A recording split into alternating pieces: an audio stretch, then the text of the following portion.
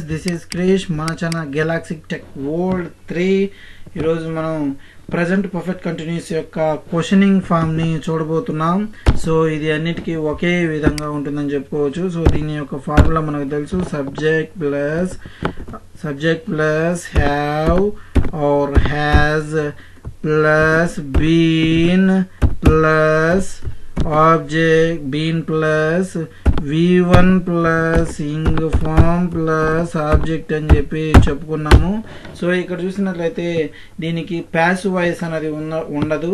So ఇక్కడ been అన్నది continuous కాబట్టి V one plus ing form అన్నది ఇంగ్ వచ్చినప్పుడు కంటిన్యూస్ వస్తుందని చెప్పి ఆల్రెడీ చెప్పుకొని ఉన్నాము. సో ఇక్కడ చూసినట్లయితే ఈ విధంగా ఇది ఉంటుంది. సో దీని యొక్క క్వశ్చనింగ్ ఫామ్ని చూసుకున్నట్లయితే మనకి చాలా సింపుల్ అని చెప్పుకోవచ్చు.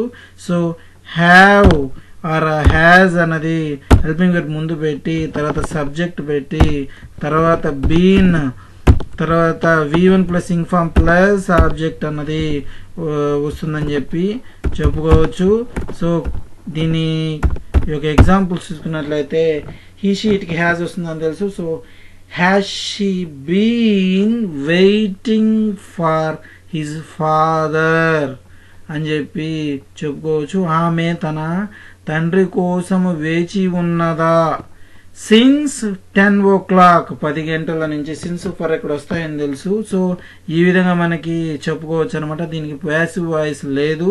సో ఇక్కడ హీ షీట్కి హ్యాజ్ వస్తుంది మీలాంటికి హ్యావ్ వస్తుంది ఐకి కూడా హ్యావ్ వస్తుంది అని చెప్పి ఆల్రెడీ చెప్పుకున్నాం. దయచేసి లైక్ చేయండి సబ్స్క్రైబ్ చేయండి. Thank you thank you very